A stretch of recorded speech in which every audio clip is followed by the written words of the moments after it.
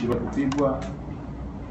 Ni sehemu ya uh, unyanyasaji wa kijinsia au ukatili wa kijinsia, jambo ambalo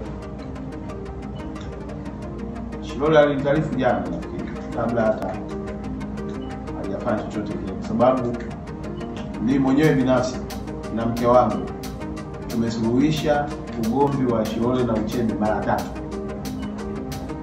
yaani hata hizo picha za kupigwa mimi nishaziona na tushamuuguza shingoni. Ndio maana nasema unajua, ukiwa kiongozi kuna mambo mengine uyafanyi kwa ajili ya public, unatafuta wa- wa- wamalize matatizo yao kwanza waone pamoja. Na Uchebe ameshakuja nyumbani kuomba radhi mara nyingi ya kwamba hata mzia tena, lakini nilichokiona jana pia na taarifa nilizopata ni mwendelezo wa matukio ya ukandamizaji na unyanyasaji yanayofanywa baada ya kushindwa kuelewana, ziko hatua za kuchukua. Ndio maana tuna viongozi wa dini, tuna wazee, tuna wazazi ya kuweza kusuluhishana badala ya kuumizana na kuleta madhara kama. Na ukishindwa pia, ndio maana serikali imetoa fursa ya watu kupeana talaka, japokuwa kwenye imani hakuna hakuna cha talaka, lakini pia imani ya Waislamu inaruhusu wale talaka. Lakini niseme tu, wanaume hatuna sababu ya kupiga wake zetu sababu hatukuwatafuta kwa njia ya kuwapiga.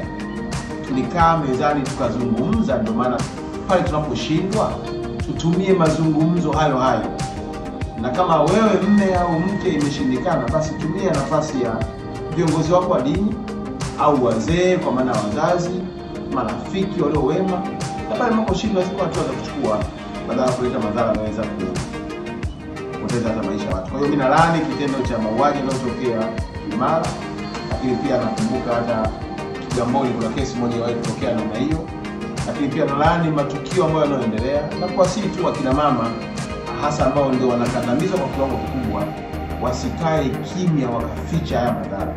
Wanapopata matukio kama haya, ni vyema wakatumia nafasi nzuri zaidi ya kushirikisha viongozi wa dini, lakini pia uh, viongozi uh, wa kifamilia kwa maana ya wazee wao, wazazi wao, na pale inaposhindikana waripoti kwetu, kwa sababu sisi kazi yetu ni usimamizi wa sheria.